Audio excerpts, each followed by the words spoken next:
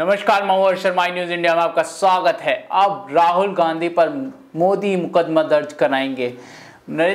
مودی نہیں، للت مودی نہیں، نیرم مودی نہیں۔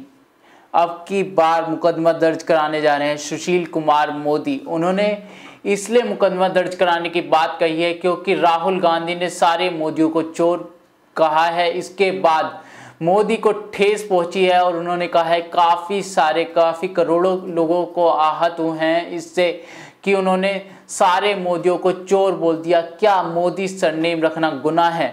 اب راہل گاندھی کو دیکھا جائے تو کیا فیصلہ ہوگا راہل گاندھی کا؟ کیا بیان دیں گے اس پر راہل گاندھی کی؟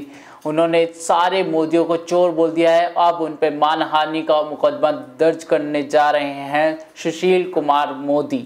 سشیل کمار مودی نے کہا کہ اس کے بعد پٹنہ ہائی کورٹ سے میں مانہانی کا مقدمہ درج کروں گا، جو راہل گاندھی نے اتنا بڑا بیان دیا ہے کہ سارے مودی چور ہیں۔ اسی کو لے کر سشیل کمار مودی کافی ناراض دکھے اور انہوں نے کہا کہ میں مقدمہ درج کراؤں گا مانہانی کا راہل گاندھی کے خلاف۔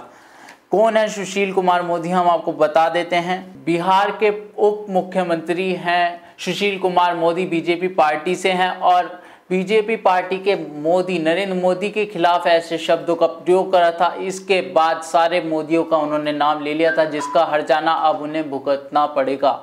کیا راہل گاندھی کے خلاف جو کیس درج ہوگا، اس کا کوئی اثر پڑے گا کانگریس پارٹی پر؟